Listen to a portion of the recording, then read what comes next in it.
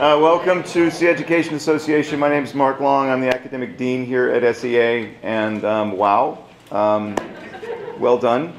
Um, we had no idea how many to expect, so we set out 40 chairs, and that was that was wrong. But thanks for being here and being patient. Um, glad you could make it. Um, Osprey are popular. That's awesome. So I'm going to introduce our director of development, Polly Lyman, who's going to just sort of tell you a bit about us, and then we'll kick it over to to the night's festivities. Thanks for being here. A quick, like 20 seconds. Hi, I'm Polly Lyman. I'm Director of Development here at SEA, and I don't know how many of you know about what, who we are and what we do.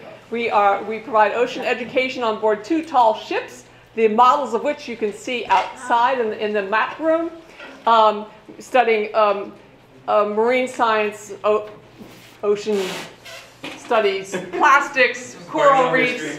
So we share a lot about caring deeply about this earth that we all share together.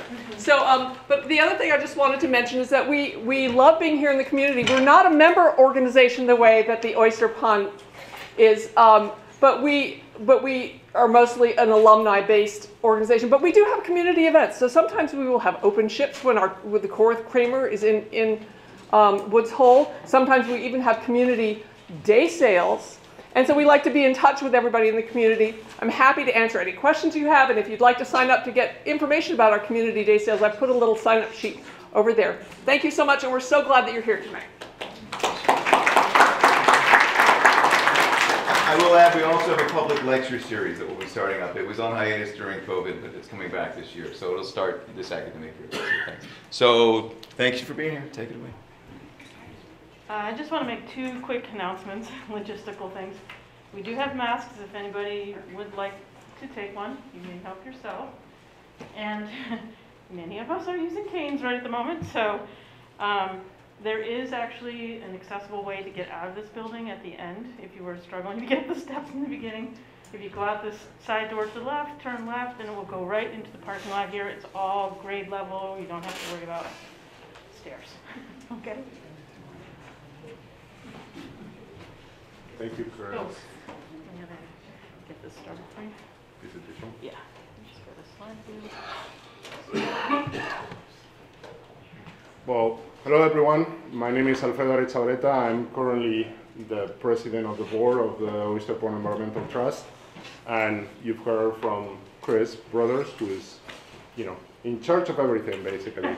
um, so welcome to the annual meeting. Uh, the way that it works is we go through, for those of you that may not know about uh, the Pond Environmental Trust, um, we kind of have an annual meeting in which we share with the members of the trust, um, you know, updates, annual updates on, you know, what has happened during this last year.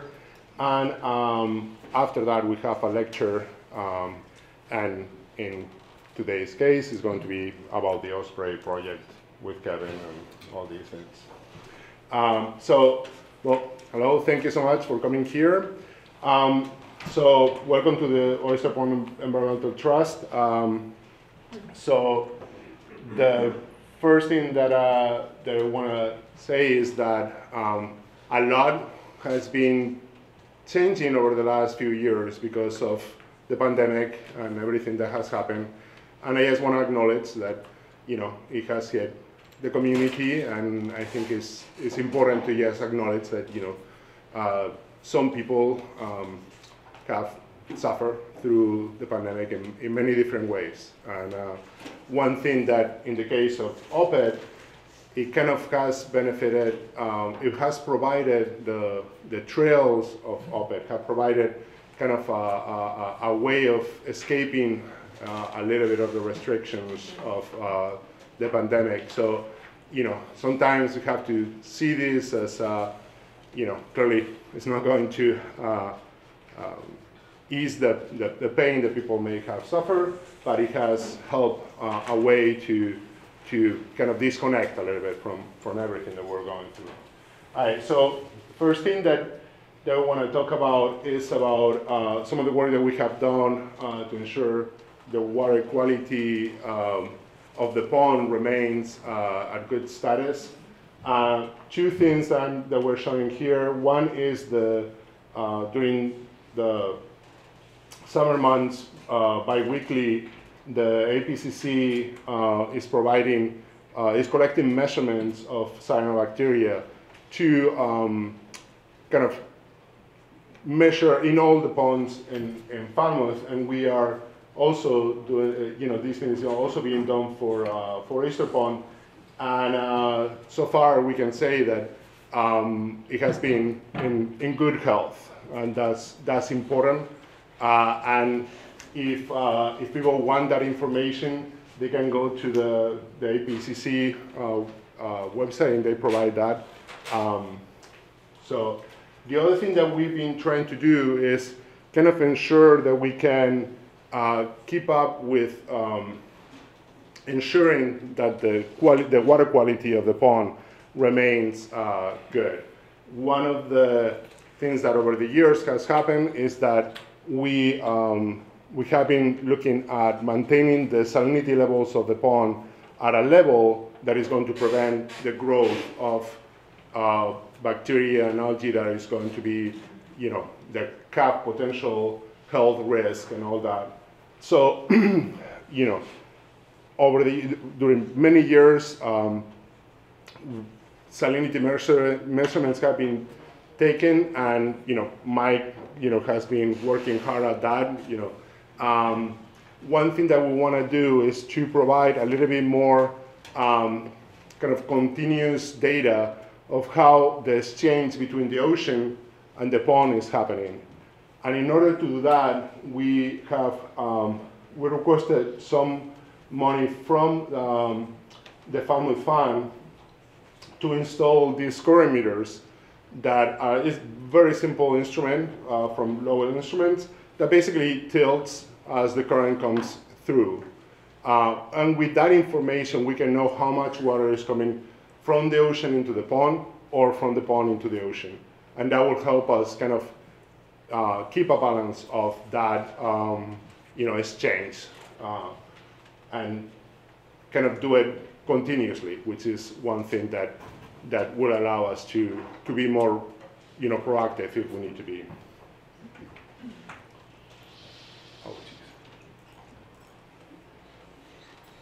As part of our uh, water quality um, focus, you know, we have, uh, you know, the UMass, uh, Sarah Howard from UMass has been uh, collecting um, samples, not since 2106, um,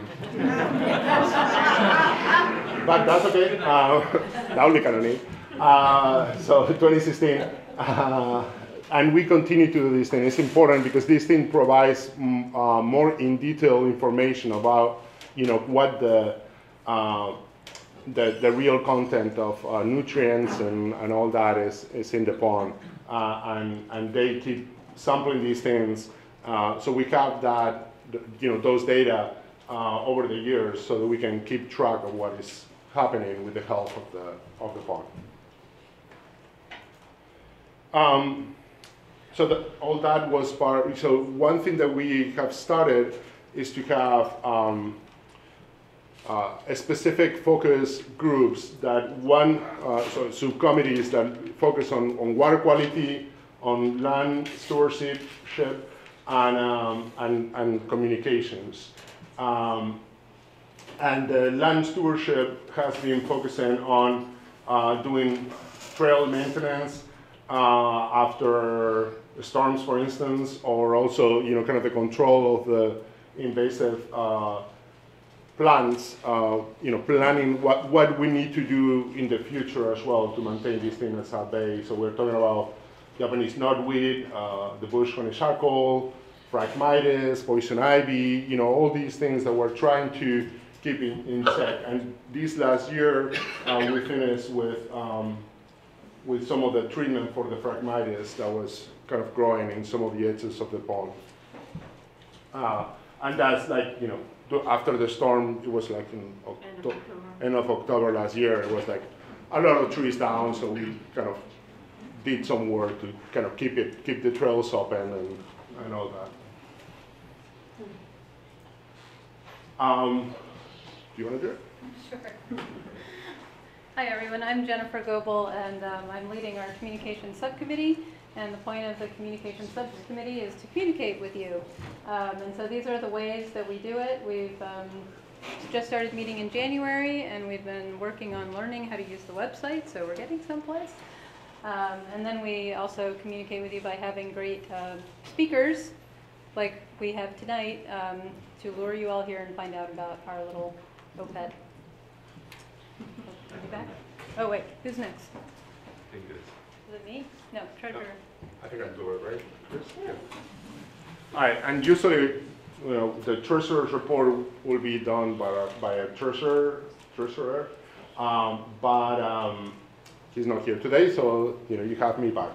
Um, so I think financially, we're doing pretty well. Um, you know, we keep, um, you know, kind of try to keep a good uh, balance uh, of, of the funds that we have. So, yeah, so that's, uh, as you can see, you know, in terms of, uh, of income, you know, we, we are uh, kind of covering a lot of the expenses that we have.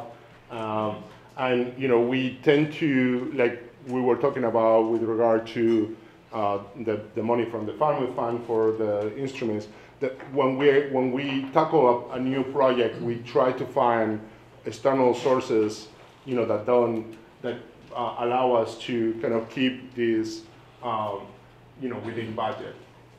And you also can see the, the assets as of, as of um, the end of, of June.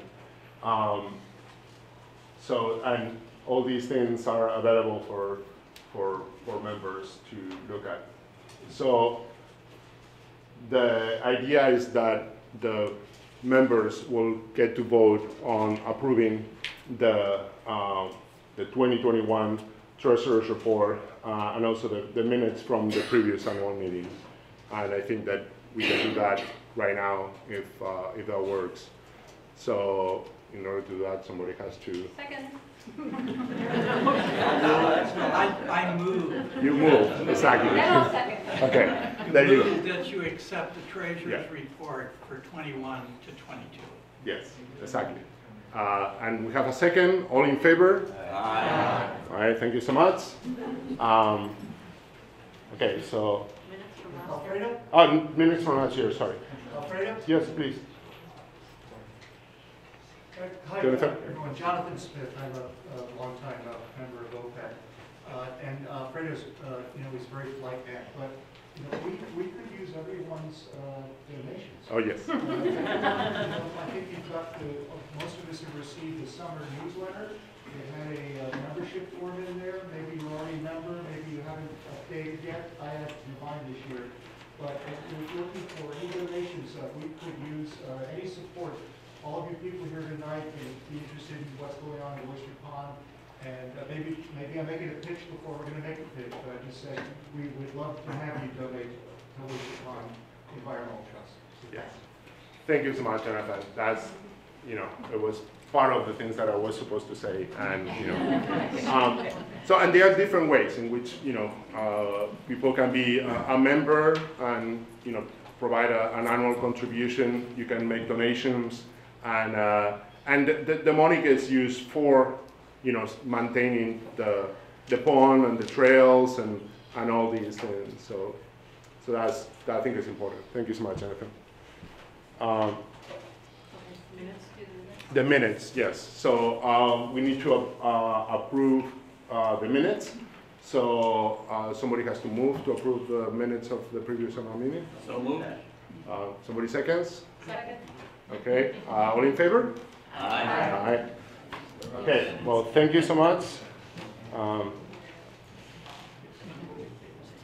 um, I also want to thank, you know, a lot the, so, so the OPET is, is based on, on, uh, it has a, a, a board and the members of the board are volunteers. Uh, and we kind of rotate in and out um, after a number of years. So uh, as of right now, we have uh, some outgoing uh, board members. Uh, and you know, I would like for them to stand up so that we can acknowledge them. Um, so we have John Dowen, Meredith Golden, and, and Dana, who.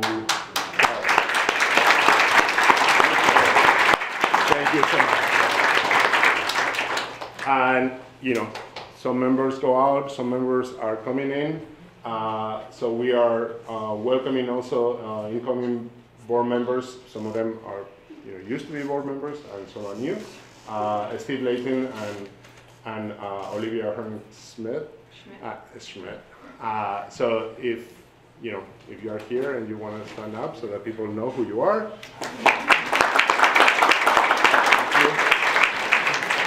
And again, you know, we are also always looking for people that are interested in being part of the board. Uh, you know, is is as I said, it's volunteer work. So you know, um, so it depends on what people's availability is.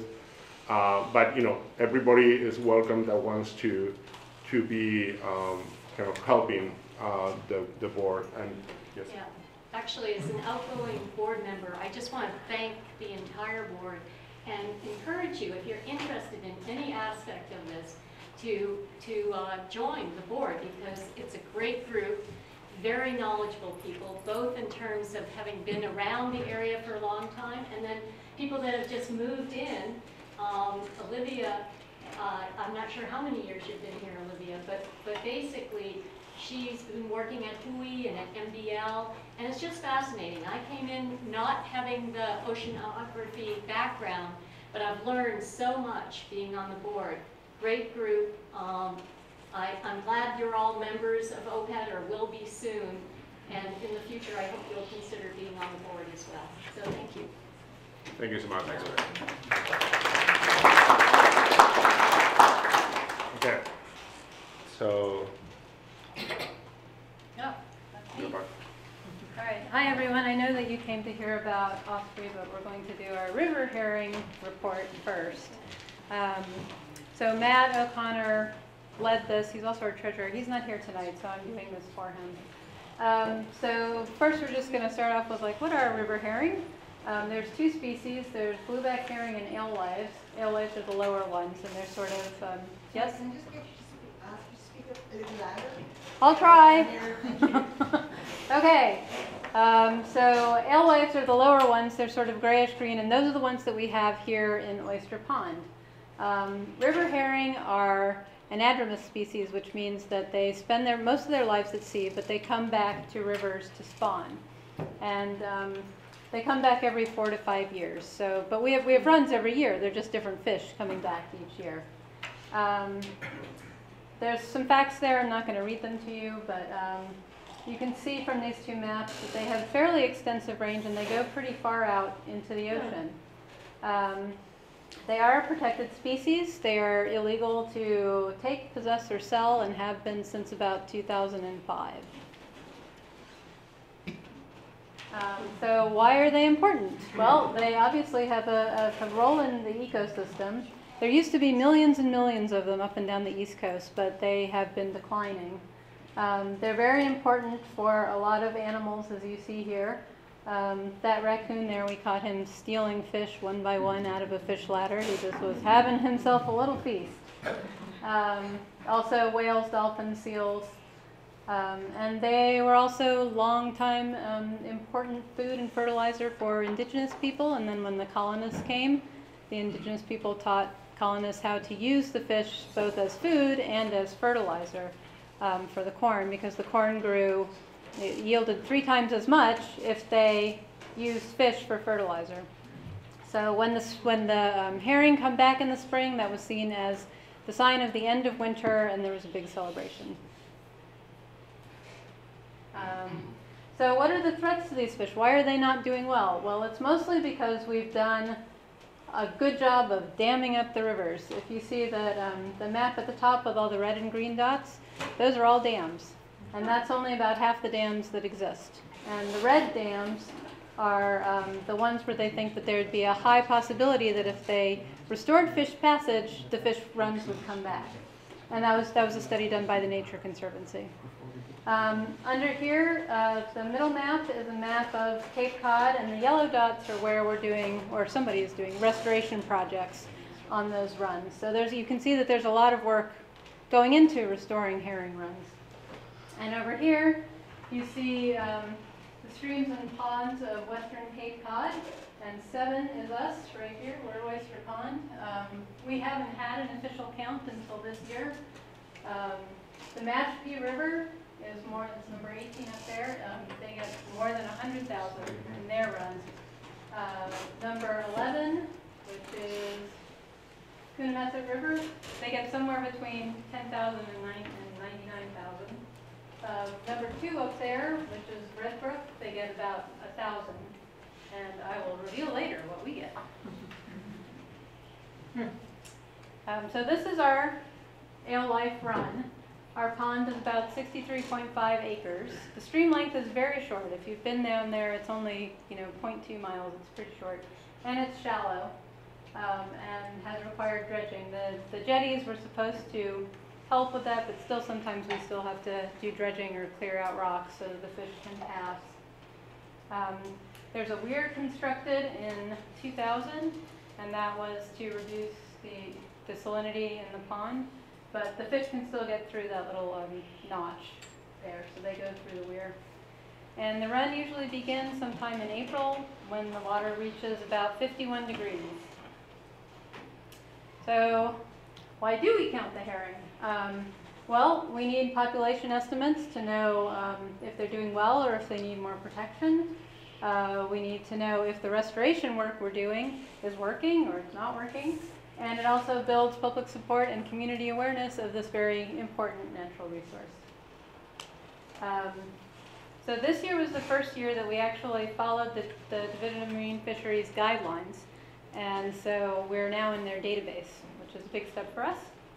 Um, the count went, goes from April 1st to May 31st. Um, you do 10 minute counts. So basically you stand at the bridge and watch the fish going under the bridge and you count them as they go. And it's not as easy as it sounds. um, so because our run is mostly a nighttime run, we shifted our time period from 7 a.m. to 7 p.m., which is the normal Massachusetts you know, time that you count. Um, they let us change it to 9 a.m. to 9 p.m. Um, so what you would do is you would go down to your 10 minute count, wait 10 minutes, and then do another 10 minute count. And we tried to have one count between 9 a.m. and 3 p.m. and another count between 3 p.m. and 9 p.m. Uh, we had 12 scheduled volunteers this year and a few ad hoc volunteers as well. And one of the things that um, you will know is if you're a herring counter, you go down and you, you sort of, is, are there going to be any herring? Most of the time there's not any herring. Um, but if you see birds like up there, or you see like a, that little guy sitting out there at the mouth of the river, that means the herring are probably running. Um, so how did it go this year? Uh, well, we had 319 10-minute counts over 61 days, which averages to about five a day. Um, we only saw herring around less than 20% of the times we were down there, so that was a lot of trips down to the river in the freezing cold to see nothing. Um, uh, we saw most of the fish after 7 p.m., uh, only a few, a quarter before 7 p.m., none before noon, they're late risers, um, and only one before 2 p.m. So we counted this year in our, uh, in our 319 counts, 945 herring. Um, and the run, they gave us, we turned in all our numbers and they just came back and gave us our run and they think it's around 13,000 plus or minus 5,000. So it's a big variation. Could be, you know, anywhere. So I'm going to just play you a quick video so you can see the fish going up the stream. Um, sometimes they get caught on the side.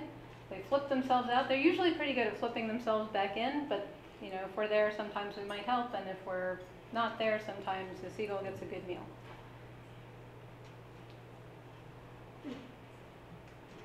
So yeah, it's pretty shallow, but they, they are making it up that stream.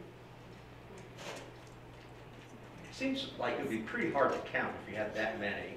Well, Have you ever thought about using video and, and having review of it over? so a lot of streams, and rivers around New England do that, like um, the bigger ones that have more infrastructure.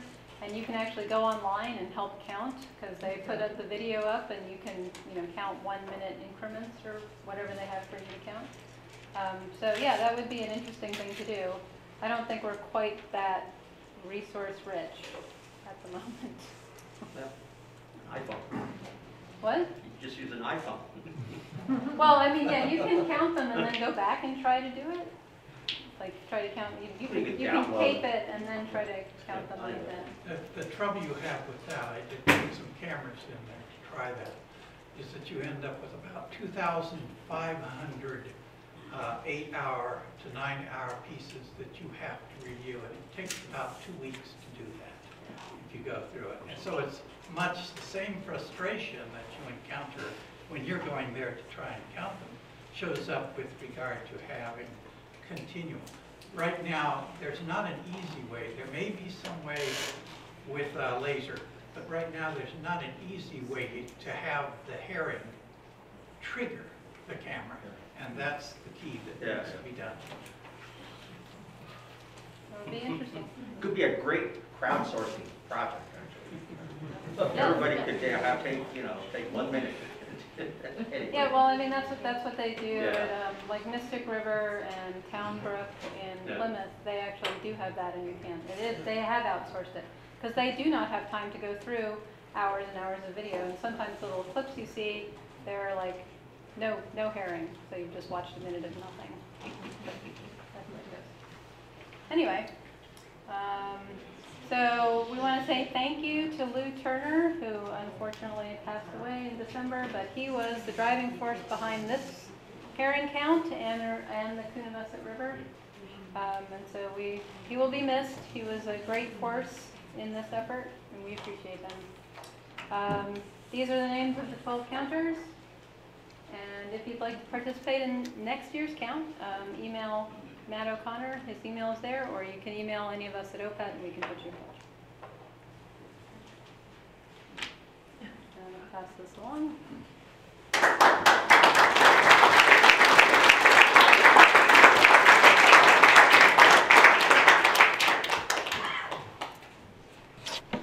Great.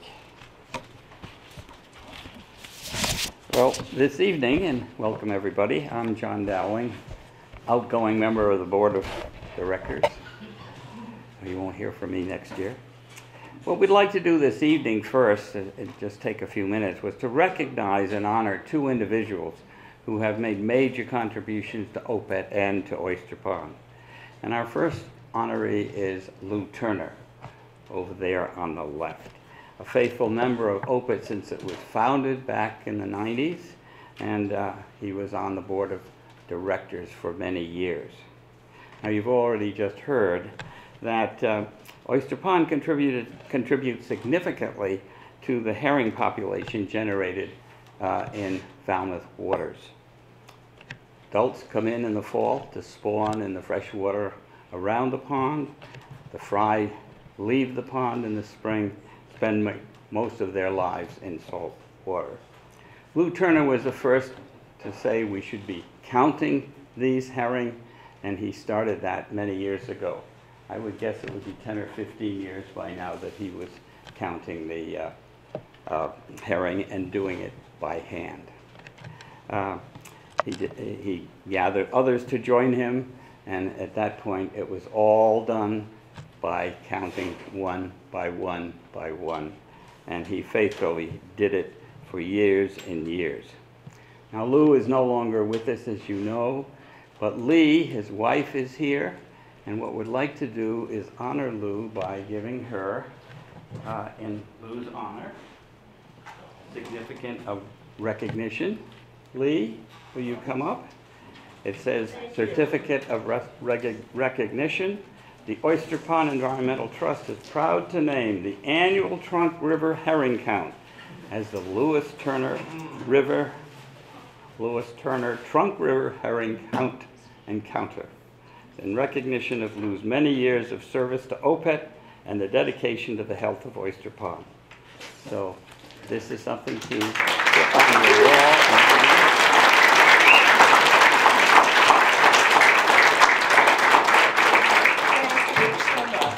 And there is something else that we would like to present to you. A beautiful bowl oh. made by one of our members, one of the incoming members of the Board of Directors, Steve Layton. It's gorgeous. Oh, that's beautiful. So, that's.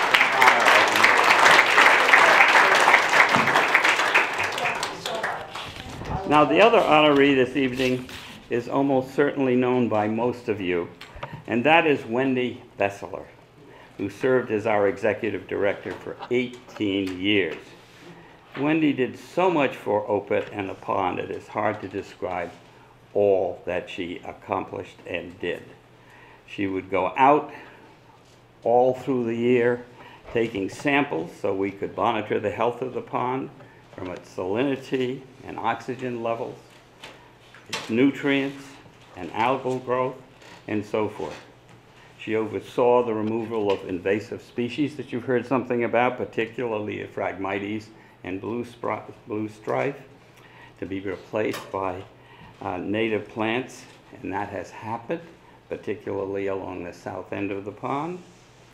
And uh, she organized the board of directors meetings, this annual meeting, uh, oversaw the newsletter which you all have received, acknowledged do- donations, kept the list of members of the organization, and of course, was most critical in our successive quest to obtain the 22 acres headwaters land that we purchased a few years ago to put into conservation. So she not only helped us with that project, but then laid out the trails, had been maintained them, and so on and so forth. Unfortunately, Wendy could not be here this evening, uh, but uh, we thought it important to recognize her here tonight and her marvelous contributions uh, with a certificate and, uh-huh, and also a bowl, again made by Mr. Layton, Dr. Layton, I should say. Certificate of recognition, the Oyster Pond Environmental Trust is proud to recognize Wendy Besseler for her many years of exceptional service to OPET and her dedication to the health and habitats of Oyster Pond. And it is signed by Alfredo, our president. Now, we're planning another event to honor uh, Wendy when this pandemic is finally over. And we will make these presentations to her at that time. And there's, again, another surprise, and we hope to see you, some of you anyway, at that other time that we honor Wendy. So, okay, I'll turn it back now. Again, a beautiful bowl sitting in that box.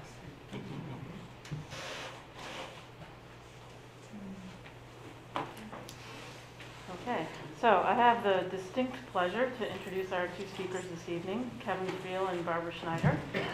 Um, I met Kevin about a year and a half ago when I was looking for a rare bird. He and I are both birders, um, obsessed birders. uh, we were looking for a rare bird in Sagamore, and there was a lot of birders there, no bird. Kevin shows up, bird appears like that. um, yeah, he is a fantastic photographer and naturalist. Um, he and Barbara um, started this project about a year ago. About a year ago. Um, A little over a year, a little over a year ago. As you may know, ospreys took a steep decline um, in the 70s and 80s. Um, fortunately, they are now recovering very well, um, but they have this ongoing issue that they like to nest on power poles because wherever's the highest point, that's where they want to be. And I'm not going to give too much away. Um, we know that this is an issue around town, and Kevin and Barbara have been working very hard over the last year and a half to try to resolve this issue. So, um, thank you for coming, and just give me two seconds here to switch to their presentation.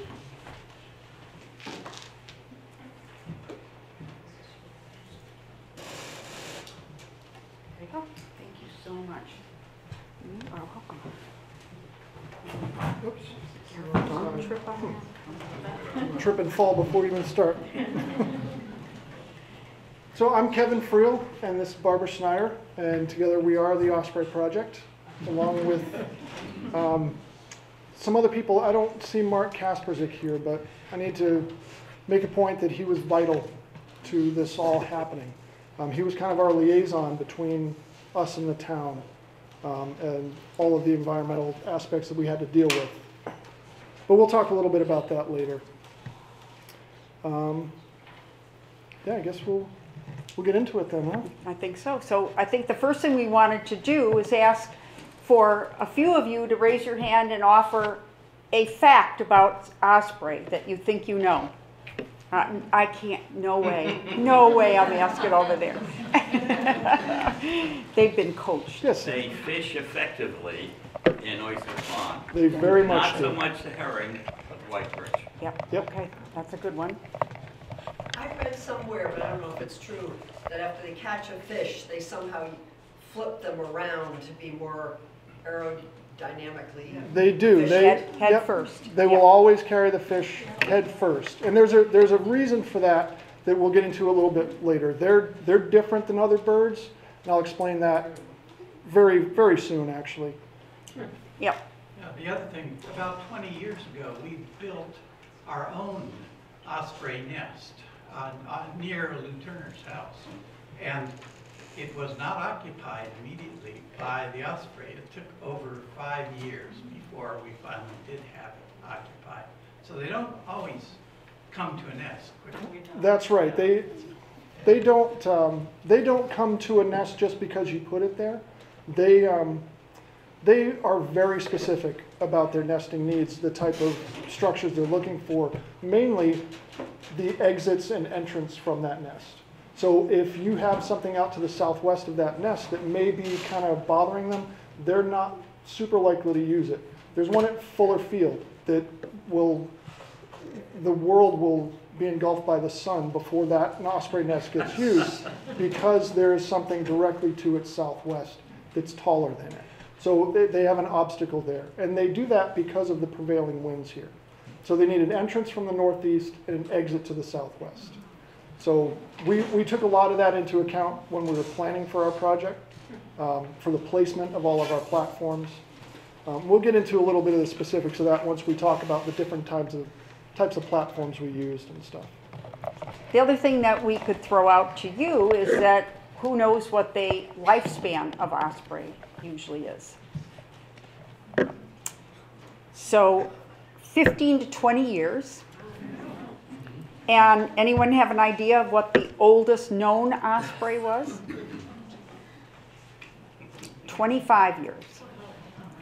And in that lifetime, we're going to talk a little bit about the, the uh, traveling that they do. And you all know that they leave here and they return, and that's been a big thing for all of us to watch.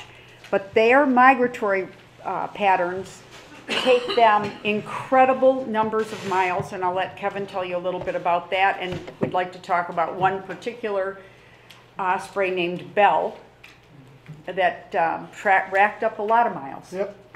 So Bell back in 2008 was tagged on Martha's Vineyard.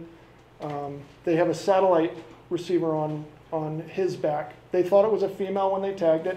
Turns out it's not. So so Bell the boy, as he flew from Martha's Vineyard to French Guiana, and it took him 13 days.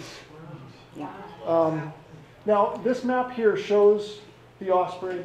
If you can see the purple area kind of down in the middle in Florida and Baja California, those are our stationary osprey. Those ones will live year round and not migrate at all. The other ones, the, the dark brown up in Canada and along our coastline, move down to the blue areas in South America. Now there are no, no breeding osprey at all in South America. They do all of their breeding in the northern hemisphere for some reason. The ones from Europe go to Africa, but they don't breed. The ones from China and Japan go down into um, Indonesia, Fiji, Australia, um, and they don't breed. But there are some year-round in Australia as well. And uh, there's one nest in particular in Australia that has been documented to have osprey living in it for 80 consecutive years. So they're a very, very uh, close-knit family group of birds that there's sign, kind of some science saying that they're eventually the nest that a baby was born in Eventually, the timing may be right that the parents no longer return when that baby makes its first trip back up, and then they will take over that nest. In the spring, you'll notice a lot of them, there's a lot of warfare going on in the skies in the spring. And a lot of that is juvenile birds who are being pushed out by their parents. Because they come back to the nest they were, they were born in. And they want to live there. They want to, they want to raise their own kids now that they're sexually mature. Um, And they don't come back, this is one of the questions we get all the Yep. time. When do they come back? Do they, do the young ones really go down south and come back right away? No, and sometimes it's three years. Yeah, three to five years to reach sexual maturity, and they will not come back up here until they're ready to breed. So they'll, a lot of, a lot of the raptors do that, the snowy owls in particular. They, they will migrate south and then hang out for two or three years on the wintering grounds. And then once they reach maturity, then they go back up north and do their thing, make more snowy owls. And I know it was mentioned that um, osprey were in trouble during the 70s. They were certainly in trouble actually from the 50s to the 70s because that was when DDT was being used. The eggshells were so thin and they were crushing their own eggs. Um, but an interesting fact that from Boston to New York, just along that stretch of coast, in that time frame, 90% of the breeding pairs were wiped out, if you think of that. 90% just from New York to Boston. Yeah. We ended up with six breeding pairs on all of Cape Cod. So what did, what did the government do? Migratory Yep. Bird Treaty Act in 1918 is something that has been used to protect these birds. And it is one of the reasons that we can actually say to somebody, you can't just let those birds get killed. You can't keep them in harm's way when you know they are in harm's way. Um, and there, and so that's been important to us, and it should be important to all of us to remember that one act. Yeah, the Migratory Bird Treaty Act is, was a very good thing. It, it has some, we'll call them idiosyncrasies, where like, you could, you could in theory be arrested for picking up a feather. If you find a feather on the ground, the Migratory Bird Treaty Act of 1918 says that you can't have that. And, and that was actually started because of what? Who knows why they started that about the feathers? Hats. Hats. Exactly. Hats were wiping out um, a lot of birds. So that's why the feather is part of this. And Thornton Burgess, some of you may know of his children's books. He's, um, there's a museum for Thornton Burgess over in Sandwich. He was instrumental in passing this. So it's, it's nice to have kind of a local Yeah. tie to that as well. Yeah. Okay. All right, let's get into some bird stuff here. Yep. So this is a, this is a typical osprey, osprey attack posture, um, about a foot from the surface of the water. And first time I get to say this word in public, the zygodactyl foot. So this right here, if you look at this, you can see it forms a, a very good X. Most birds, other than owls, have three in the front, one in the back, and they're stuck with it. Osprey and owls can have three in the front, one in the back, and then decide, you know what, I need two and two. So they can swing a digit around and form that X. And this is just phenomenal at catching fish. Absolutely insane at catching fish, as you can see here. Now, another thing about their claws, um, they're shaped differently than other raptors. They're much more, um, there's much more curve to them. They're smoother on the top side. And then the underside, they have scales that go back the other direction. So when they grab onto something, those scales lock in. And it's very difficult to get out of the grasp of an osprey. I actually had one, we rescued an osprey last week, and he, uh, he grabbed a hold of my finger pretty good. I still have the marks from that to prove it. But they are unbelievably sharp. Um, like just, it's like a hypodermic needle that's this long and opens up to about a half an inch at the, the top half of it. One of the things that I'll add in this picture, they can actually go down as deep as three feet. That's not usual. What you normally see is this, where they're grabbing it off the top, but they can go down that far. And one of the things that allows them to do that is they have much oil, more oily feathers than other birds. So the water kind of just rushes right off of it. Another thing that the, bird, the osprey can do that's quite unique is they can close their nostrils. Not many birds can do this. Mm-hmm. So when they hit the water, all sorts of things happen. The, nic- the nictitating membrane goes back, the nostrils close. They, and they have adjusted in their mind when they're hovering, they do this kind of hovering thing where they're 30, 40 mm-hmm. feet and they just do this. And when they see a fish, their brain can tell them, all right, well, this is the angle that I have attacking, and this is how deep the fish is. So the fish isn't there, it's really here. So they, they can deal with the refracted light and hit a spot the size of a quarter. I have seen osprey come up, they go hit the water and come up with a fish in each hand.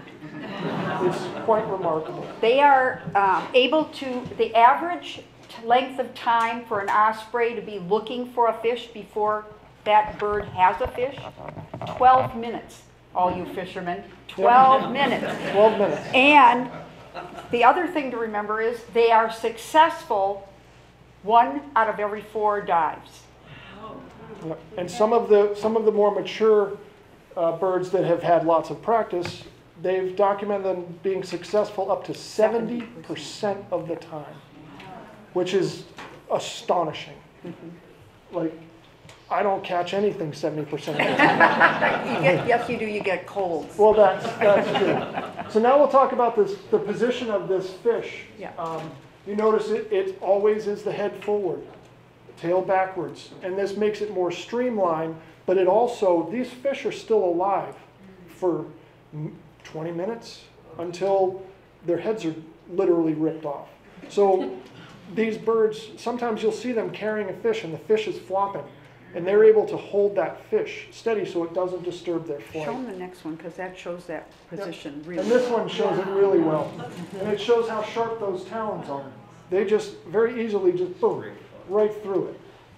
And I think that the, a lot of times you're wondering how big are the fish when you're watching them carry fish, you know? So the average, um, average size is about one third to two thirds pounds. But they have been known to carry as heavy as two and a half pound fish. Yeah. You know what's about a pound and about a third to two thirds of a pound? Alewife. These these birds follow the alewife. When they make and then when they come up to make their initial uh, spawn and run into the rivers, these birds are there. It happens right around um, St. Patrick's Day. Uh, it's usually this year on the 19th. There were no birds here, and on the 20th, more than half of them have come back, which is remarkable because they come. When they migrate, the males and the females go different places. So we said that Bell went to French Guiana. The Bell's mate may have gone to Nicaragua or may have gone to Chile or Venezuela, anywhere down into Argentina. And then they'll come back and they meet within days. Sometimes it's the same day they'll show back up at the nest. After a 2,000 mile voyage, they somehow they, they show up at the same time. And it all revolves around the alewife. And the best thing that Kevin and I laugh about is that if the female gets back first, she will sit there and she will be damned if she's going to go get a stick and start working on that building. Yep. Yeah, the males do all the heavy lifting. The females pretty much if you if you have a couple of hours to kill next spring when they're in their their nest building phase, just hang out and watch a nest. And you'll see that the female sits on the nest and the male will come in and drop a stick. And then he'll take off and go get another stick. While he's gone, she'll fiddle with the stick with her, her beak and put it into place. So it's kind of a joint thing. They're both building, but only the male is really carrying stuff. And then they're both responsible for their own food until the eggs are born. And then the males do a lot of the heavy lifting for the females. They do most of the hunting. Um, males are a little bit smaller birds than the females, so they tend to be just a touch more agile, which in my mind would lead to them having a slightly higher success rate hunting. There's absolutely no scientific proof of that. It's just a theory that I have. Um, probably wrong about that, but we'll see. so this is an interesting picture here. I just, I thought it was beautiful the way that you could see his beak right here in his the shadow of his mouth, wide open. Now, this picture was taken along the Coonamessett River restoration, which two years ago was amazing for osprey. Two to three years ago was amazing. This past year, there was almost no predation from osprey along that stretch of the Coonamessett River. And that's all because of the restoration of that river. Before, there were a lot of sandy areas that were very exposed when these fish came over. So with all of the restoration work that they've done, a lot of the natural grasses have come back in that river. Um, and it's a spring-fed river, so those grasses are able to thrive a lot longer into the year. So it hides these herring very well from these osprey. So now they're going further up the Coonamessett River, um, which, the, what is it, the Barboza property? Yes. So they, they hunt basically behind the cranberry bogs on Thomas Landers Road.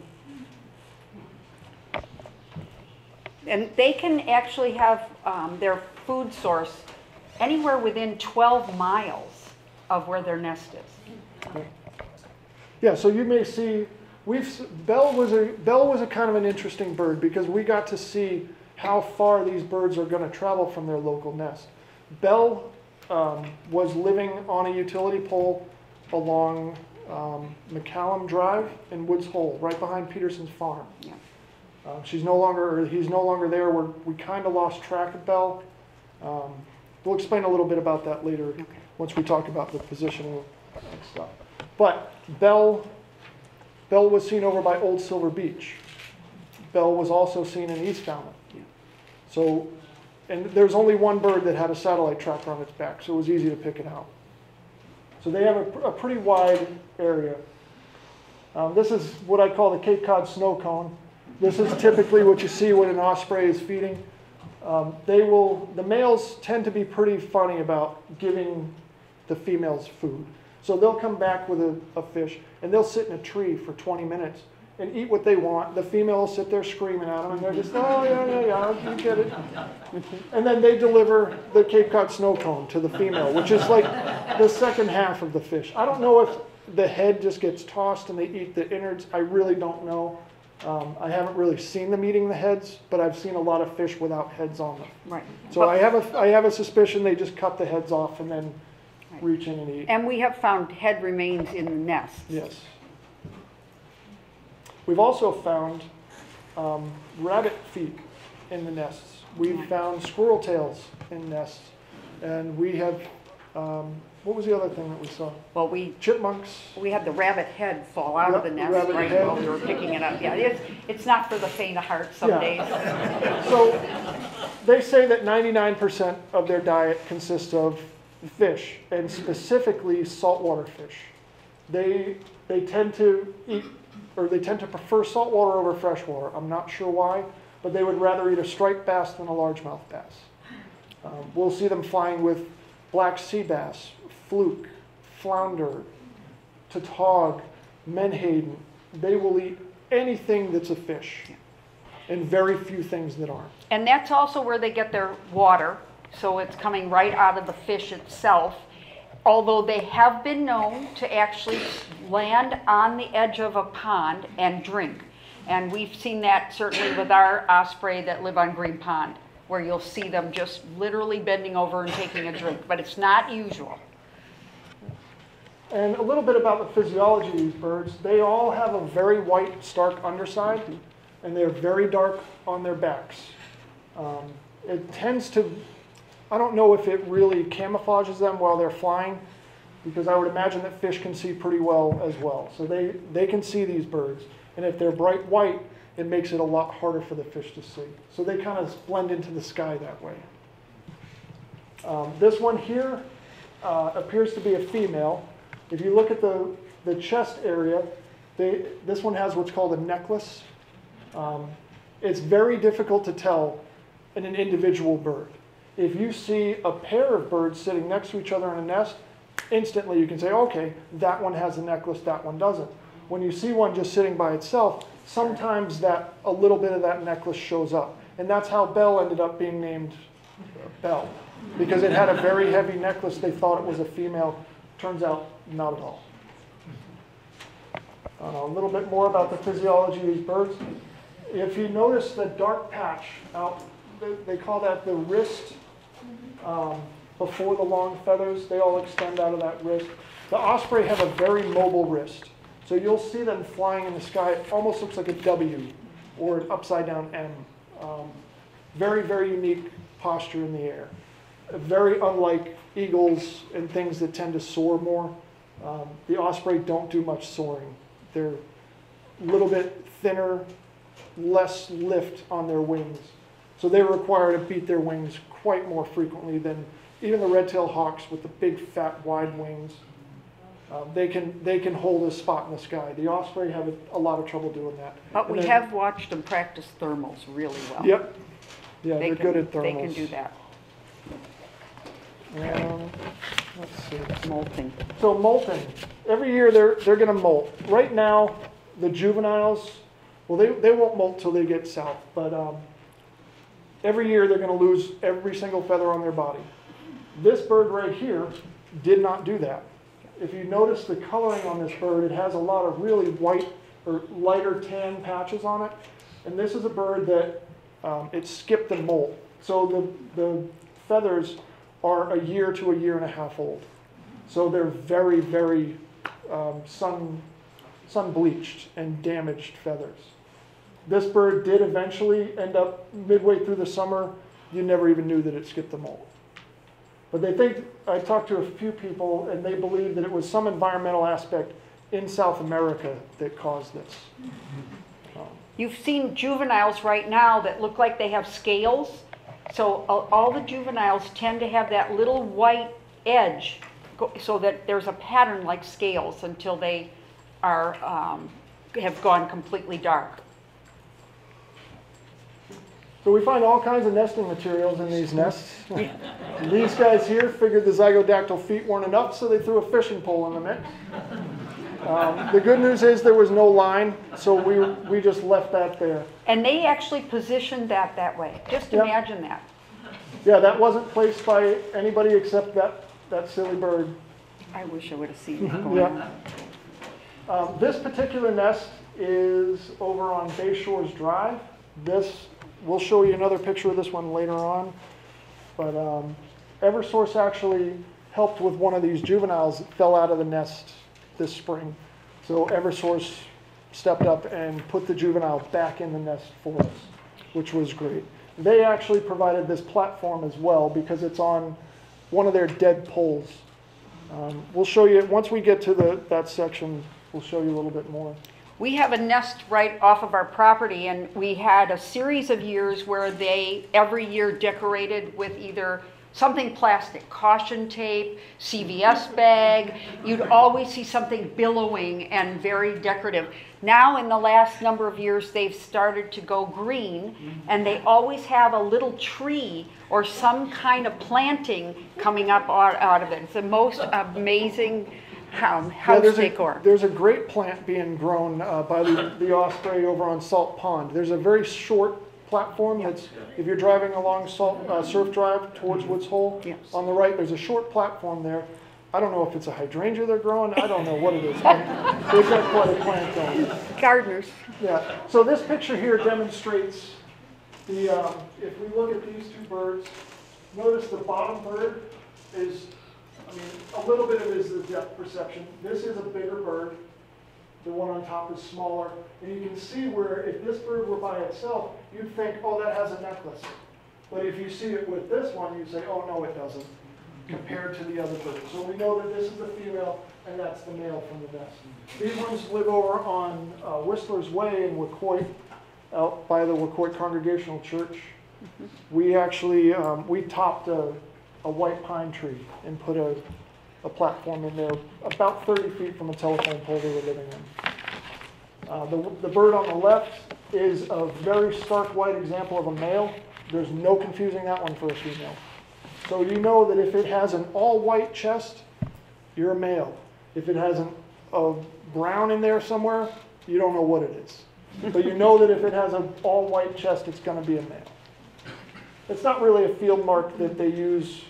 I mean, we use it a lot when you're studying the pairs of birds, but in all the field guides and everything, they really don't even mention the necklace because it's not a reliable thing if you see one bird. So the mating and the egg laying and all that good stuff. So there's basically a two-week stretch where every time the male comes back to the nest, they try and make babies. Uh, sometimes she's not having it. Sometimes, sometimes obviously she does, or they wouldn't be here. Um, and they'll, she'll lay an egg. The first egg will be laid. Three to five days later, she'll lay another egg. Three to five days later, she might lay another egg. And then there's an extreme circumstance where they may have as many as four eggs. Now, they lay them three to five days apart. So by the time you get to that fourth egg, you're about two weeks behind. Um, they incubate for between 36 and 42 days. So if that first egg hatches after 36 days, that fourth egg literally has halfway to go. So there, you've got a bird that's being fed constantly while the other one's are still incubating. Once they hatch, they're at a severe disadvantage. So generally, the osprey will fledge two nests, two uh, chicks from a nest. Um, occasionally, we see three. Rarely, we see four. Although the past three years, I have found nests in Falmouth with four of them. That make, that make it, That, yeah, four of them that fledge. that make it. Now, of those four that fledge, we probably won't see any of them ever again. Um, raptors get a really hard way of life. About 80% of all raptors, osprey, owls, red-tailed hawks, bald eagles, about 80% of them do not see their first birthday.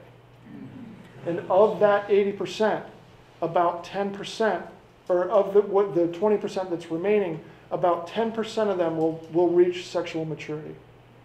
And then of that 10%, 10% of them will actually um, make enough babies to replace themselves. So it takes quite a lot for these birds to really progress their population and numbers. So we've done a great job since the 1980s to have them rebound like they have. Been quite remarkable. And when you're seeing those two birds come back to a platform, you know that that's unusual. I mean, it is amazing that they've made it. Yeah, and they, they are, for the most part, we'd call them monogamous. Um, but I'll tell you what, if, if one bird gets killed, the other one will find a mate five minutes later. They do not mess around. Um, we, we had some incidents uh, last year. A bird got electrocuted over by cappies. Um, it was a male bird, which, if the female bird gets electrocuted, a lot of times that nest will cease to exist anymore. Um, if it's a male bird, the female will stay by the nest, and then another male will bring it fish, and she'll say, "Okay, you'll do." And now, and now they're they're partners forever.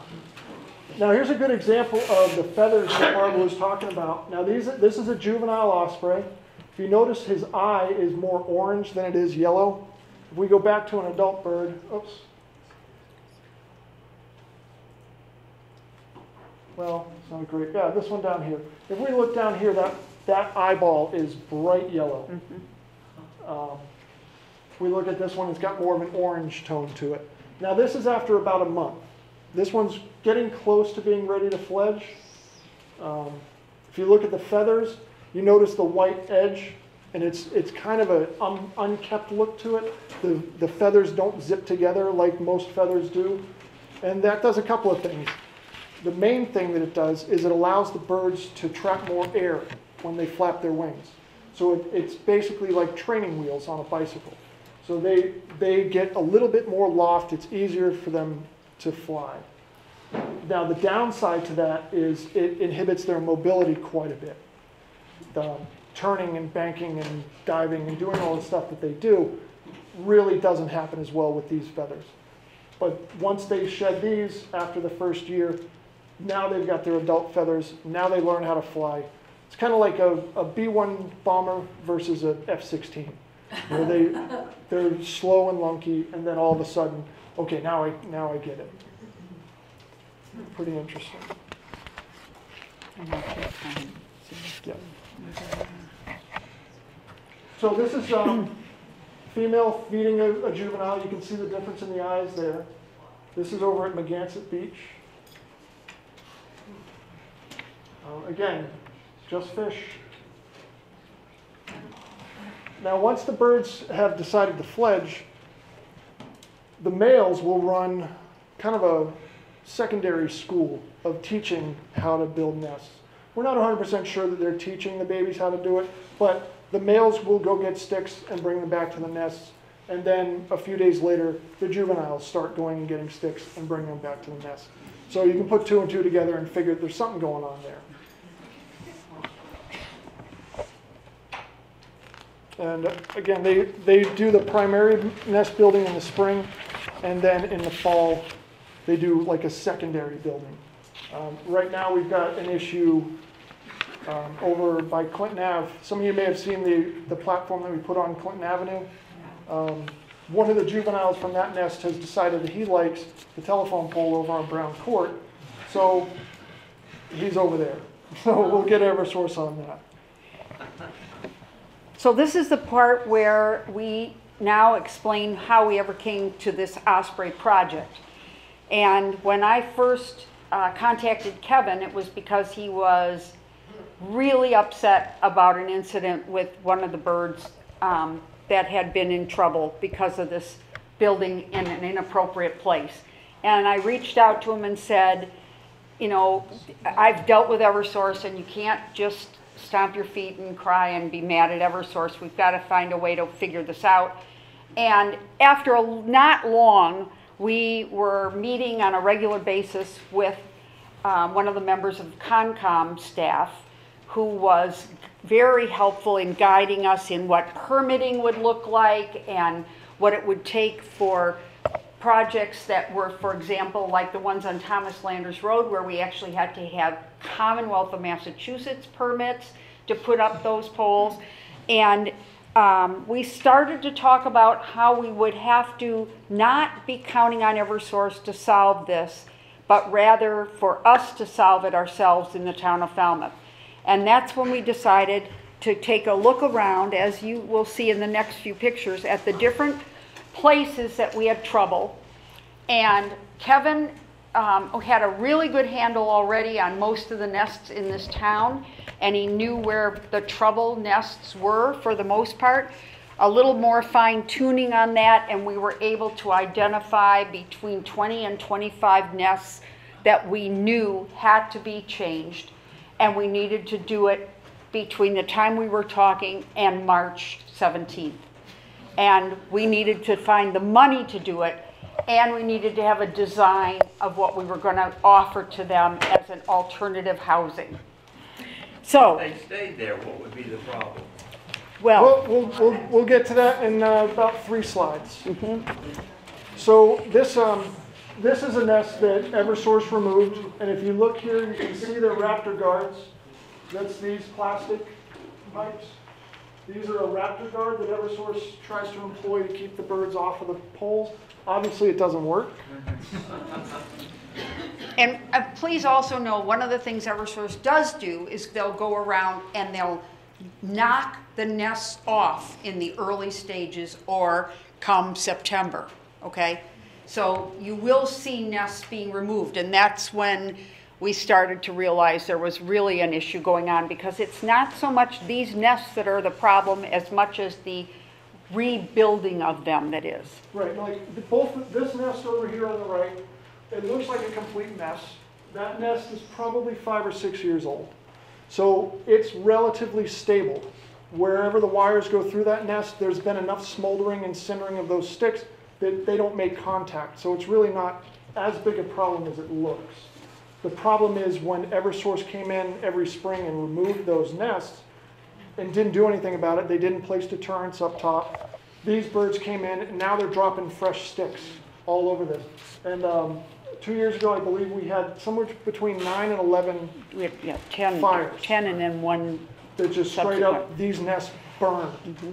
And that was, it and that, cow- that was power outages along Yep. with that too, so keep that Yeah, three mind. of them were just at, uh, at Cappy's.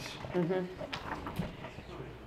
So these are the, another example of the Raptor guards and how effect- effective they are. They, they pretty much just provide an, an area for these birds to Nestle. stabilize a nest. Mm-hmm. Um, I'm not sure how they thought that would work, if I'm being honest.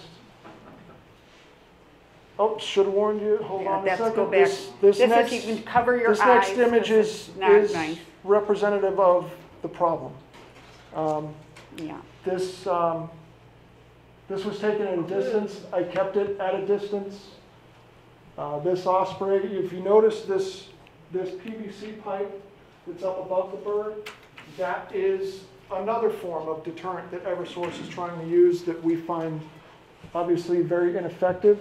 This nest was removed by Eversource. They put up this uh, thing, we call it a T-bar. Um, and two days later, we have a dead osprey with an egg. Yeah. Which is, and this is the problem. It's the fires and it's the dead birds. This was a male bird, so the female kept right on going.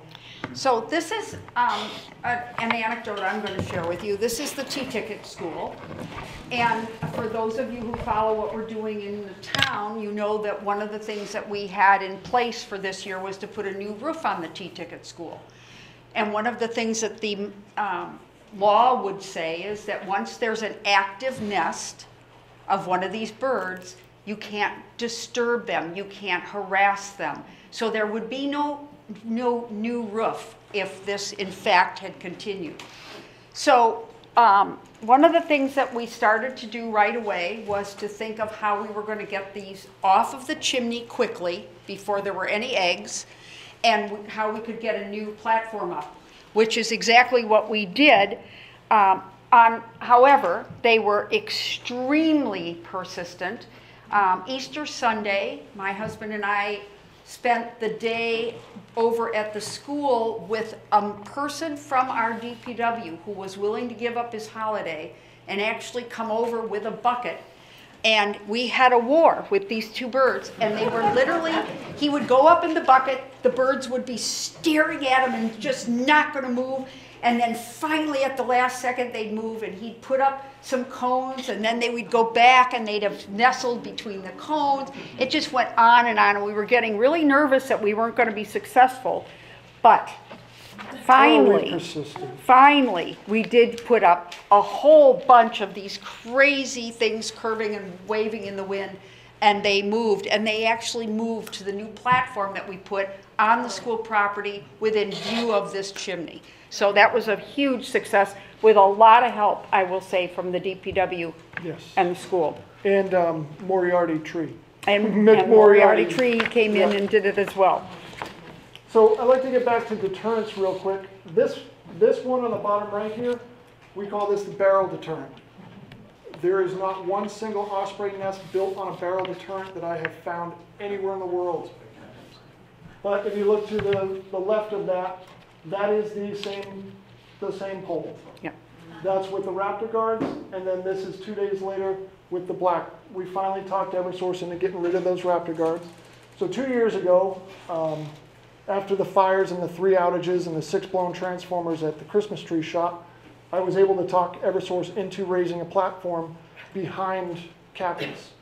Um, and they moved right to it after they put this black to turn up, which is, which is great. Here's another example of um, a, a situation where this T-bar was put in so tall that this, it didn't even phase these birds. They just built right on it. If you notice, there's a bird in the lower left there. That's on a telephone pole that's set back from this pole. Uh, I mentioned earlier that Eversource put a platform up on top of one of their poles. That's this pole. We've got a picture of what this turned into later. And then these are some of the other places that they're nesting that aren't really a problem. Um, I mean, it is, but it isn't. It's not a, a public nuisance problem. Um, it's not healthy for the birds to be next, this close to the, the antennas on these radio towers. Or the ones on the left there are living in the Walmart parking lot. The problem with the Walmart parking lot birds is they, they're not born knowing how to fly. And a lot of times the osprey's first flight ends up on the ground. So, with that being said, um, birds sitting in an empty parking space, somebody's not paying attention. So that's what's happened to all of the birds for the last couple of years from Walmart. Um, that's another thing that we're gonna try to figure out. I don't know how to fix that. Um, And here's our mess we made on the Teaticket School. Yep. You can, again, you can see that really And worked that didn't beautifully. even, that No. didn't even work. Nope, they're just, they were so angry at us. They were crazy. And Yep, here's the yep, this DPW was on. Easter. Yep, oh they yeah, are oh yeah. This is, I want you to know that he put those cones up before he had lowered his bucket down. They were sitting on those cones. They are resilient birds. They are, um, I call them maniacal. They Yeah, just, yeah, they, if they want to live where they want to live, and there's nothing you can say about it. yeah, That's my chimney. okay. So now going back to the utility poles, um, I'll let Barbara talk about the approach we use. We, we really were careful to have a business plan, to be honest. And we um, started, as I told you, with the- Kevin and Mark identifying all the nests that were on these poles that were trouble. And we knew that they had to have deterrence to keep the new nests if we were going to offer them anything else to live on. Um, I, we were, the big thing was to identify if there was an alternative site, and then if that site was going to be approved by the town or by the state or wherever it was. And that was all part of this large plan. So we were very grateful to Concom and the help they gave us on this. And then, of course, there's always the money part. And so I kind of broke off from Kevin busying, he and Mark busying with the permitting part and the design of where things were going, and I started to raise funds. And this town, I'll tell you one thing, between my, my dog park work and this Osprey work, this town supports animals like there's no tomorrow. It was amazing how wonderful everybody was in wanting to be part of this. And some people, I've got people that are still giving me $10 a month toward this. I mean, that's just how it is. And they care so much, so many little notes came in about what the birds mean to them and how it signals their summer and it ends their summer. So anyway, that's what we were able to do. We were, we have money set aside at this point that we will be maintaining these and we still have some to fix. And in, that's where the rest of the money is going to be used. Okay. So um, we'll get into some of the designs. Well, actually, talk about Falmouth Together We Can. This is, quickly. if you don't know this group, well, we are so lucky to have this group in our town. It is a 501c3 that was started specifically to be able to give the after prom to kids and collect money and have it be a charitable donation. But they have taken on all these little charities, including the dog park when it first was trying to get off the ground. They put them under their big umbrella so that you can collect donations under that charitable um, label. And they help, all, they do the paperwork, they issue checks, they keep very careful records, and they do the taxes. It's a phenomenal thing, and we should all be very grateful for them. And I just wanted to add that. So you can see we did get a number of wonderful grants and a lot, we had people that sponsored an entire poll. Um, we were very lucky. I'll talk more specifically about a couple of the polls later. Um, Actually, here it is right here. If you look at this poll on the right, that LAMF, it's the uh, Leanne Manillo Foundation. She died uh, during childbirth of twins a few years ago. And this foundation was set up to help other families that were going through a tragedy like that. Uh, If you notice the names on it, we got Dan and Nick. Those are her sons. They helped build that platform. So that was a pretty neat thing. We did a lot of that. We had, um, well, we'll talk about that one in just a minute, but the, um, we used three designs for our poles. One of them is this, this was kind of our standard swamp design. Um, anything that was going in a salt marsh or somewhere where there wasn't a lot around it, we were able to utilize one of these, and we could use manpower to put these up, which is what was so great about that. And we hand dug those holes to Yeah. be very careful about the environment and so on. Yeah, I mean, in the picture, you can see that we, we had, um, I mean, there was nothing destroyed around this in order to do it. We We- had to dig a little right. hole and set anchors. We were actually even, co- if we were drilling a hole, we were actually collecting the, the drill drip parts that were coming out from the wood, the little, you know, it was unbelievable how careful we were. So that's one of our styles of poles. Then on the left here is the pine tree that we took the top off of. This was a tree that was nine tenths dead and ready to fall over. Um, it was lucky that we had a tree like this so close to a power pole that had a nest on top. Um, when we set this platform on top, it was about 20 minutes before the birds Yep. started dropping sticks on it. Yeah, they did. Um, this nest over to the right, that is the Clinton Avenue nest. That is a, we had to purchase standard telephone poles. We purchased 35-foot poles. um, Just because we weren't sure exactly what sizes we were gonna need. We ended up cutting this one to 21 feet, placing the, the platform itself at 18 feet off the ground. That we could not do with manpower, so we needed a crane in order to bring And that we were one. very grateful for DPW to store those while we were, as we were doing the project. And here are all of our platforms. Um, the guys over at Miller Starbuck Construction volunteered to accept our, our lumber order. And we gave them their designs for our platform. They cut up all the pieces. And then we distributed each one of these kits, we called them, to a volunteer. Um, you know, Van and Nick put one of these together. I put one together. Um, there's several people. Some- Lenny Armstrong, I saw. Yep, are here. Um, Yep, Yep, there's right over Lenny. here. Thank you very much, Lenny. Yep. So we had, we've got a lot of, um, lot of involvement from the community in this. And almost everybody signed their platforms, which is kind of a neat thing. So they can, they were told where their platform that they made ended up, so they can go see their birds whenever they want. Um, few of the nests, few of the platforms were built by uh, a Boy Scout troop. There was actually one nest that fell outside of the parameters of our Osprey project. We really only wanted to deal with the utility poles. There was a, a nest over on Quaker Road by Old Silver that had fallen about four years ago, and the, the pole was just laying in the marsh, obviously not occupied. And we figured that, you know, the Boy Scouts were looking for something to do, so we asked them to, if, use our design, would raise a platform there. Um, about six days after it was raised, it was inhabited. So it was pretty neat. They're, the birds were quick to react to a lot of our platforms. And if you would have told me that I would be going and meeting a truck with that delivery ever in my life and figuring out how I was going to get those offloaded, no, I, I didn't Those believe it. poles. Yep, And there I am, uh, chilling in one of the nests over on the right there. That shows how big these things are. They're 48 by 48, yeah.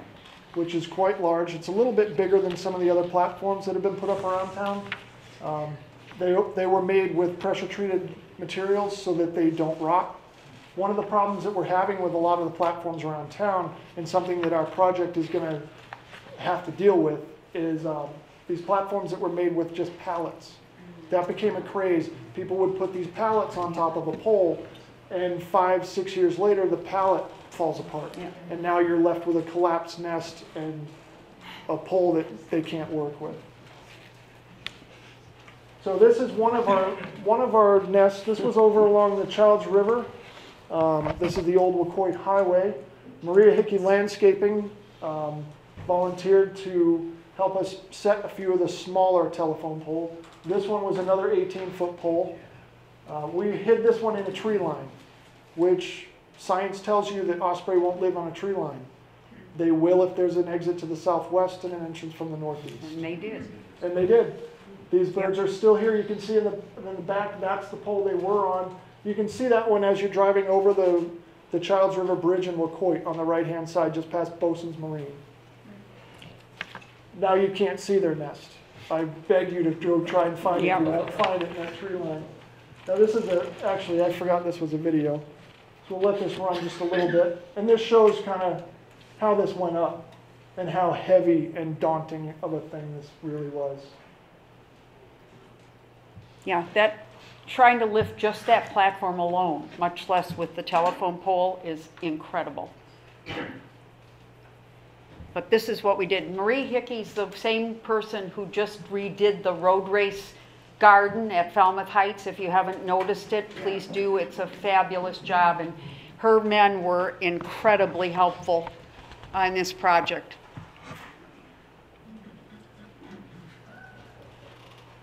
Yes, you need down on the ground, try not to get my fingers crushed. How deep is the hole? Now- Six, we did Yep. six feet on those. We did six feet, so this is going nowhere. The ones that were in the swamps, those were three to four feet. Three to And they four- were hand dug. These we did, um, This one was well, actually that was hand dug too, yeah. This was Some of us them were. with post hole diggers. We had to open the hole up so that it was wide enough that we could open the post hole diggers. So we had to shelf it. Yeah. So we had to dig about this big around, about that deep. Yeah. And then we went the full six feet, um, big enough, 18 inches, I believe, Mhm. which was pretty crazy. Okay. And then this is just the other, this is when the crane got involved. This is uh, Clinton Avenue. We actually had a day that we had um, rented a crane to come and do a number of them. And just went like this, one to another to another. Two of those were the ones that you- were on Thomas Landers Road. Yeah. And, We're still having issues on Thomas Landers Road. yep, And then this is the manpower.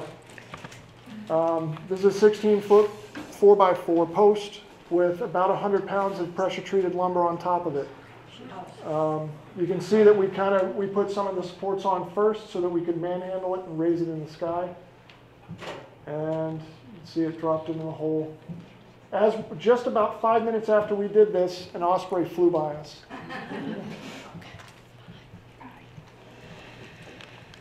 This map here is kind of showing where we put all of our nests. It's up here when you need to, um, notice both of our spouses are leaving. This is typical. Um, It's fine. So, um, this is up here, and you can take a closer look at it, but we put little dots where the nests are, the- the platforms are. And the good news is that um, about 17 of the 25 were, had chicks on them this year. So that's a pretty good first year. So these birds are the um, Royal Megansett birds. That's where Leah, the Leah Manila Foundation platform is. We have three in this nest. So if you look at the, the top right, um, if you notice this, this bird is doing what they call pancaking. And it's, it's basically a, a way that they can hide from predators. And they'll just basically lay down in the nest. If you notice these nests, in the spring, they seem very active. They'll be a male and a female constantly. And then all of a sudden, there's nothing. You don't see anything, no activity around these nests. And most of the time, that's because the female is pancaking on top of her eggs. So she'll sit there with her legs a little bit spread back to the sky, and you can't see them when they're on that nest. Quite remarkable, actually. So the next part of this is where do we go now? Um, we really are continuing to try to work with Eversource to do more deterrence, expand the uh, number of poles that they're deterring in one area so that birds don't just get bumped off of one and then go right down the road to the next. So they are um, having more discussions and we don't give up and we do keep having a little bit of progress as, as time goes on. So we're hopeful that over this next year, we will be able to correct more and more of this. We certainly have cut way back on our problems this year than what we've had in the past. And as you all know, any of you who are following on Facebook on Fabulous Falmouth or the Falmouth Wildlife, you know that you're seeing Kevin and I constantly being told, like tattled on about things that are happening with different birds or especially the osprey. The phone rings a lot. Kevin gets called or I'll get called because someone's got a bird on a chimney. Someone's got a bird that's down on down in the yard. Someone's got a bird that got rained on in the storm and couldn't fly. And then that's where you'll see me taking pictures and Kevin's holding a thing, this little thing wrapped in towels. Um, but we are really careful about interfering with nature. If it is at all something that can be left and hopefully gets back on its feet or back up in the nest, we're leaving it. And we're not calling Cape Wildlife in all the time. And they are actually filled at this time of year with so many babies, mm. chicks. So we're, we're making rules as we go. One of the rules is if there's a private person who has a problem with a chimney uh, nest, that is not under our purview, but that will be under Kevin's company's little private thing that he can help that person get their own permit and he can help build them a platform if they're allowed to by, the- by the town. So we're trying to keep our rules. Remember that the project was to help us stop power problems and fires and birds dying. And um, then, yet that doesn't mean that there aren't other problems. So, if we look at this, that's the picture that we showed earlier, with the nest under the T-bar and another bird standing on a telephone pole. The bottom, this is the exact same telephone pole. You can see the platform with the fishing rod. Um, Birds have moved to that in, in lieu of the one with the black barrel. Yeah. That black barrel is unbelievably effective. Um, Yeah. I'm not real sure why they don't employ it everywhere. It's not the most sightly looking thing, I think I it's, will it's the time it takes to put it but up. yeah, it, it takes a little bit of time to put those up. So, like Barbara was saying about the, um, the rescuing and helping these osprey, um, a lot of what we do is we'll go out and find a bird that's on the ground and it just gets thrown up in the air. We found one on Sandwich Road and it had traffic backed up for 15, 20 minutes until I could get there. Somebody called me on Facebook. And we get over there and there's traffic backed up both directions, a police car in the middle of the road, and this bird was up against this guy's car barking at everyone. Um, So I, we came over, grabbed a towel, picked him up, got him off the road, let traffic kind of ease again, and then just climbed up a hill out by the, the little power grid, wherever, what is that one? At the end of Hayway and Sandwich Road? Right. Right there, there's a transfer station. And it- up that hill, there was a, a nest on top of a high-tension pole. That nest got destroyed during one of the storms we had. storm we had. And the birds weren't quite fledged yet. So we went up to the top of the hill, threw the bird in the air. He flew about 100 yards um, back towards the road, unfortunately. So we went, picked him up, threw him again. and this time, he flew up along the power lines and landed in a tree. And now, every time we go by there, we still see one of the parents sitting up on that pole. So we know that that bird is still fine. Um, Yep. Very interesting. And then this again, this is the same pole. Completely different result. So we need to see more of this. And one thing that we, neither one of us has mentioned yet is we are not trying to let the osprey increase their population. We're not adding additional nesting sites. We're adding replacement nesting sites. So we get a phone call, for a while there, it was two or three times a day, I'd have somebody call me, oh, we want to put an osprey platform in our yard. What- Great, we'll Where- how close to you are the, are the nearest power pole that has a problem? Say, oh, there's no power poles with osprey nests anywhere near me. Well, unfortunately, we can't help you. And people don't like to hear that, but that's the way it is. We're not, we're not trying to expand the population. We're trying to take the known population that we have and make their lives a little bit easier, a little bit safer. That was an absolute agreement we had at the beginning with the Conservation Commission, i- is that this was not about It's a one-for-one. Yes, one for one is it. So that's what you're gonna see going forward, only correcting problems that exist. And uh, we will continue to hope to work with Eversource. And with that, we also, when you um, leave tonight, if you're at all interested in anything else that we've said, we've got little cards here. We've certainly got a Facebook page for the Osprey Project, and um, we're happy to answer questions. Does anybody have any questions? Are you guys itching to get out of here? Yes, sir. Yeah, for, particularly for a bird specialist like you, we had an unusual situation two years ago where eagles took over an osprey nest. Okay, so that's a funny And then thing. the osprey came back and reclaimed Yep. So that, that happened in Oyster Pond. There's an osprey nest in a tree, and then a, a God's honest natural nest on Oyster Pond. How cool is that? So last winter, the juvenile bald eagles, there, there was two of them that have been flying around town for the last couple of years, just becoming more and more sexually mature. We believe they came from Plymouth, not 100%.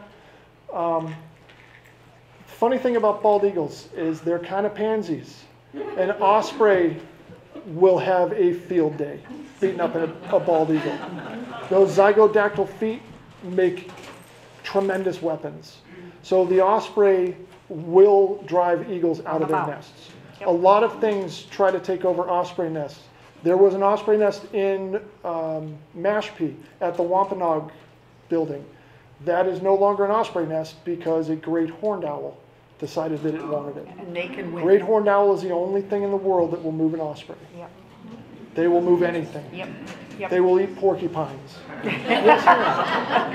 So I was just wondering, um, when they take off and go 2,000 miles away? Yes. How, how long do they fly before they have to rest? Like, Well, um, like we said, Belle flew 2,700 miles. It took her 13 days. So I would, I would say that there's not an awful lot of effort involved. Um, I think they get high and kind of follow winds. They do a lot of soaring. Yeah. Um, and they'll, they'll stop to rest along the way, but they also, our osprey here, have the problem of the year-round osprey that they have to leapfrog. Those two populations do not, Yeah. they don't mingle at all. Not real sure why. But our migrating birds are slightly larger than the year-round ones. Um, they've just evolved to be that way. So that gets them south of Cuba. They have to go south of Cuba before they're away from the permanent Right. residents. So I would imagine that they kind of take it leisurely until they get down to about the Carolinas, and then they start to get a little uneasy and skip. So I would say that they probably are going from the Carolinas to uh, Jamaica, probably, in one, in one shot. And their predators are, are who? Great horned owls, Yeah. that's really, Or the owls? really about it. And human interaction and just natural accidents. Yeah, most, most predation of osprey is gonna be the young. Um, Raccoons, fishers, um, rats, believe it or not. That's why we actually put guards around all of our poles to Yeah, we have them. alum, aluminum sheeting. Mhm. So a raccoon will climb up Oh, a there? raccoon will absolutely climb a It pole. will. Yeah, They're not ours though, they won't. yeah, and the Norway rats, um, will climb poles to Yeah. eat the eggs. Um, squirrels will try to get into these nests to eat eggs. I think there was a question in the back, if I'm Yes. not mistaken. Was there a question back? already asked. Okay, great. Thank you. In terms of identifying individual osprey, are there some sort of unique markings that you can look at in a photo? Well- That you'd be able to tell one individual from another? For the most part, no.